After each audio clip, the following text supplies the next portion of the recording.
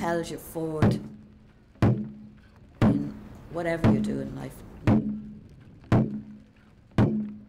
The first time I heard about Plurabelle paddlers, um, it was a great outlet for me to get back to feeling normal. I found out about it through my friend Rosemary and my friend Rita.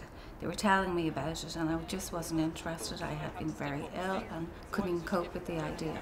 So eventually they wore me down and asked me to try it. Didn't have a clue what I was doing, but they were all very helpful. So they asked me to come back, so I went back. And from then on, mentally, physically, everything was just fantastic. I was delighted I stayed and I lost four and a half stone as a result of it. I just happened to be cycling through Grand Canal Dock with my husband and we saw the regatta on and I happened to know one of the ladies that was in the Plurabelle paddlers training and I asked her, God, what's going on here? And she explained to me about the regatta and um, I said, God, I'd love to join that team. And she said, Oh, Susan, she said, we're all breast cancer survivors. Little did I know, three months later, I was diagnosed with breast cancer myself. I was diagnosed in, in 2010. It's like somebody dropped a bomb on your head and uh, you just can't get your head around it.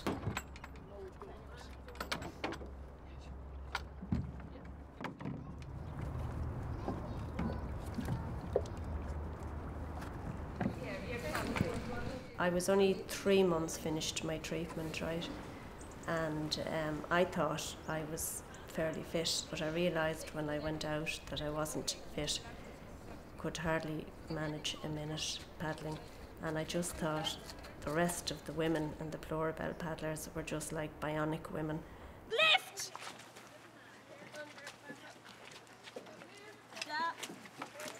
I just couldn't get over the level of fitness, and I thought I'd never get to that stage. Let it down a little, a little, not yet, not yet. Lower, lower, lower,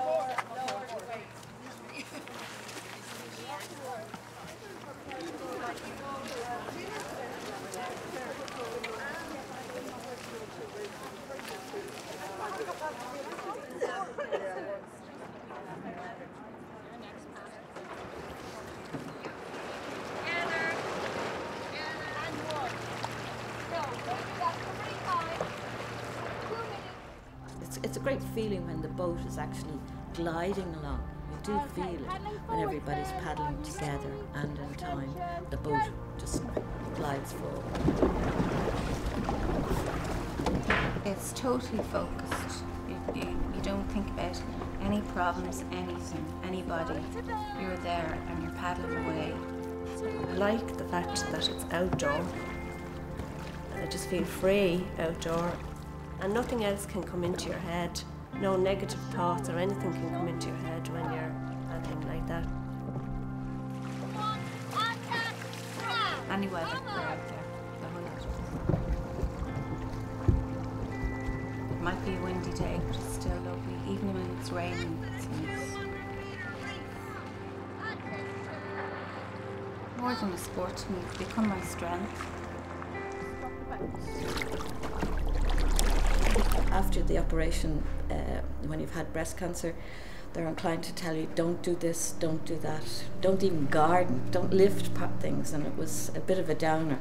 And so when I got back into the club, it was great to be able to have like minded people and to be told that exercise is good for you. I would do gym work, Pilates, TRX, kettlebells, a bit of swimming, and a bit of running.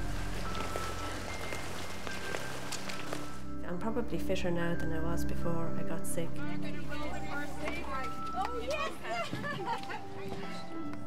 You know, when I've done the training, I like to be able to tell my family actually that I've trained and how much exercise I've done because not only does it confirm to me that I'm fit and healthy, but you know, it reassures the family as well at home that I'm well and they've been through enough.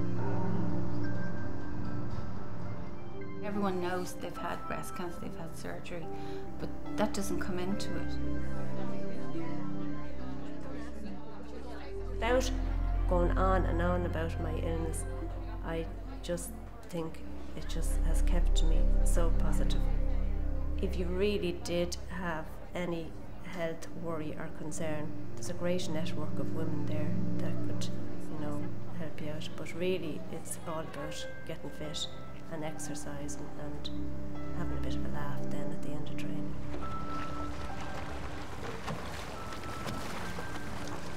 There's life after breast cancer. Long may it last.